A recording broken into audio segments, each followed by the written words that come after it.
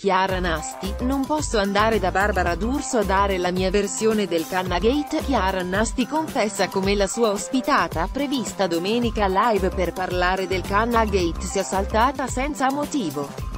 La ex naufraga è molto provata dal coinvolgimento nelle accuse a monte, dopo l'audio pubblicato da Striscia la Notizia senza il suo permesso.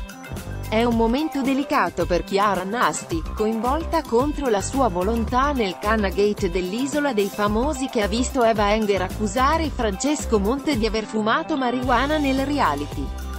La fashion blogger, ritiratasi dal gioco dopo pochi giorni, prima ha annunciato misure legali in seguito alla pubblicazione di Striscia la notizia di un suo audio registrato a sua insaputa, poi ha confessato in un video su Instagram Stories di non aver potuto dire la sua versione dei fatti a Domenica Live. Chiara Nasti non potrà difendersi in tv.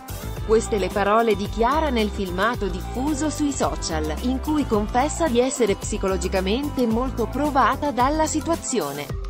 Non è chiaro per quale motivo le sia stato impedito di parlare del Cannagate nella prossima puntata di Domenica Live, che da settimane ormai dedica spazio alla vicenda.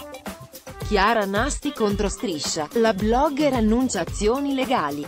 In un comunicato rilasciato nelle scorse ore, la Nasti ha inoltre annunciato misure legali per tutelare la propria immagine in questo momento delicato.